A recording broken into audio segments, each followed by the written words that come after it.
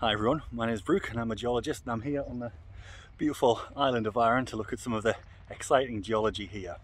Today we're going over to the north of the island and we're going to have a look at the Laggan Cottage Loop. So we're going to see some excellent Carboniferous and Permian sedimentary sequences and have a look at Hutton's unconformity in the Dalradian rocks.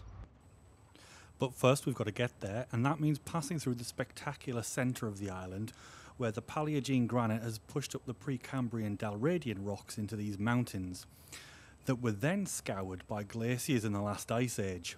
That's a lot of geological history in a relatively short drive, and one of the things that makes Arran so special. As well as the drive, there's a hike over the top of the mountains that were made by those Dalradian rocks that were uplifted by the granite. And if you're as out of shape as I am, there's a bit of a trek, but the views on the rocks make it worthwhile. You might be wondering what Dalradian means. The Dalradian is a suite of metamorphic rocks found in a big stripe across Scotland.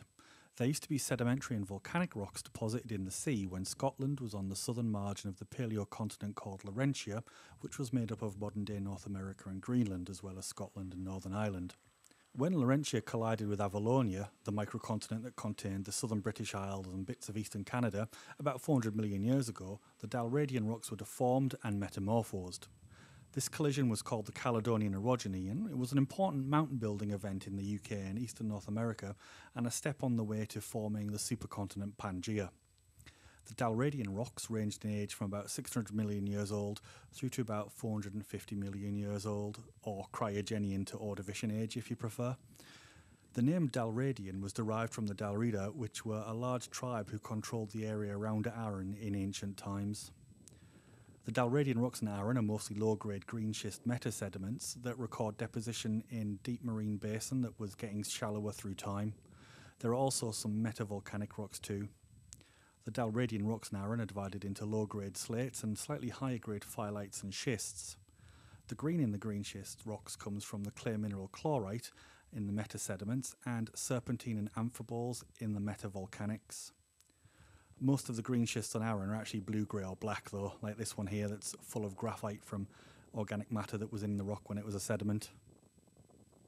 Look at that lovely, lovely cleavage and fabric. Fantastic stuff. Our first proper stop is at these fantastic Carboniferous sedimentary rocks that show cyclic variations in lithology First are these sandstones full of large crossbeds, ripples, dewatering structures, and scours that indicate deposition in a high energy fluvial and deltaic environment. The section here looks like it transitions from a river to a beach and then to a delta out in the sea. In this bedding surface, we can see that there's lots of current and wave ripples, and then if we look at the rock in section, we can see that those ripples are actually cross bedding. So cross bedding is just ripples in cross section. There's some more lovely cross section through ripples, lots of different directions there, so maybe changing currents due to tides. Next are these black fossil rich mudstones that indicate that the environment has transitioned from the fluvial deltaic environment to a full marine environment. We know this because the fossils are brachiopods and crinoids, which only live in the sea. The black colour comes from organic matter in the sediments. This means that there's a lot of primary productivity happening in the sea in the Carboniferous around Arran.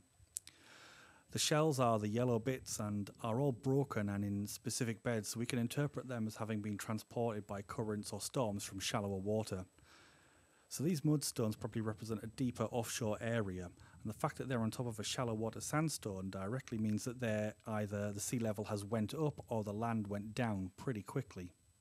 Finally, at the top of each cycle are these limestones that are full of marine fossils and sedimentary structures indicating we were back in shallower marine environments again, these fossils look like they died where they lived, so these carbonate environments probably supplied the shells for the deeper offshore black mudstones. These little swirls are from goniatites and they're a type of cephalopod. They're basically the ancestors of ammonites.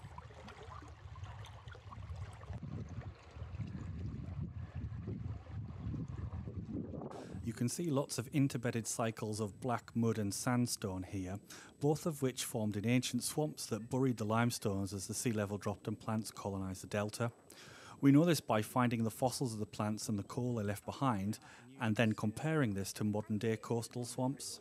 The traces on the other side of the sandstone are from roots and burrows of creatures digging through the sediment. All of these wormy looking tubes are fossil root networks, so there must have been a lot of large plants colonising the delta at this time. Now, these aren't stigmaria. I think these are burrows rather than roots. There. That's a root from a, a, an early tree called stigmaria. The, the tree was a cycad, but Here's another large root fossil called Stigmaria. The spots were the, where root hairs were attached.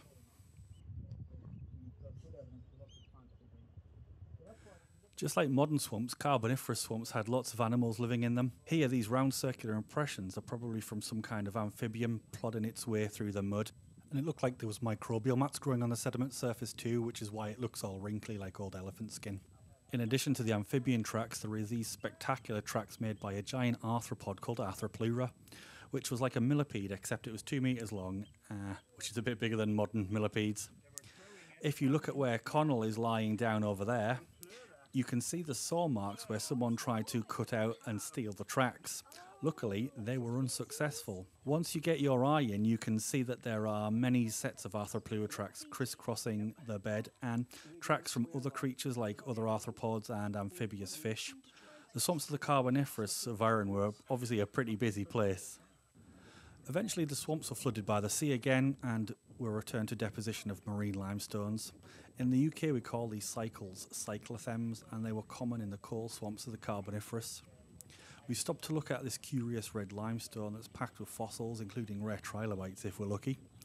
We're not sure why it's red. It could be from iron-rich dust blown in during deposition, or it could be from a stain from later weathering or the red sandstones above getting leached. All those white, yellowish, black pebbles are fossils. The bright yellow bits are modern lichens though. Check out these cute crinoid columns. This was a creature like a starfish on a stalk. The black flakes, though, are phosphatic remains like fish scales and teeth. This means that the sedimentation rates must have been really slow for the fossils to accumulate and collect together like this. There's also corals and lovely net-like bryozoans, and this looks like it could have been some kind of part of a trilobite or arthropod. And this bit's a pygidium, which is basically a trilobite's trilobut. On top of the red limestones, we have these convoluted sandstones, which means that we have reached the top of the Carboniferous sequence on this part of the island, and that it correlates or matches with the sequence of Carboniferous rocks on the other side of the island on the Corrie shore. Except here, rather than going straight into the Permian, there's a whole series of red Carboniferous sandstones, means, which means that there's a load of rocks missing like we thought on the Corrie shore. The fact that we've got red sandstones means that our tropical coal swamps have been replaced by subtropical arid environments. And this matches up with what we know about the Carboniferous, which was tropical in the middle part, but in the later part, as the UK and Laurentia, now called Laurussia, the red continent, moved into the northern subtropics, we got the spread of the deserts that dominated for much of the Permian and Triassic. But we can look at those red sediments in the next episode though, because there's too much to look at on the Laggan Loop to fit into one video. So, on that note, I'm going to smoothly ask you to subscribe so you don't miss out on the next episode. You can check out the links below and above for more of the Arran playlist and videos about cool rocks.